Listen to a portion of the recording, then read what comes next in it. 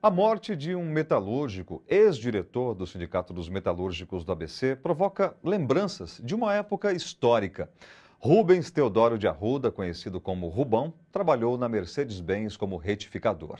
Rubens Teodoro, conhecido como Rubão, foi diretor do Sindicato dos Metalúrgicos do ABC de 1967 até 1980, ano em que foi caçado pela ditadura. Ele foi um dos líderes da greve dos trabalhadores metalúrgicos que durou 40 dias. Manter 15% de aumento.